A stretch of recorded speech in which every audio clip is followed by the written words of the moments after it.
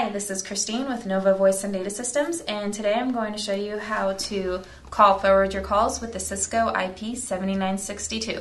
You first want to press the call forward all button, and then you press the number where you would like the calls to go to. Today we're going to send it to extension 111, so you press in the numbers, and you press the end call key.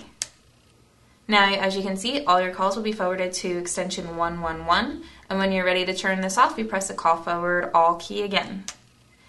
My name is Christine, I'm with Nova Voice and Data Systems, and I just showed you how to call forward all your calls with the Cisco IP 7962.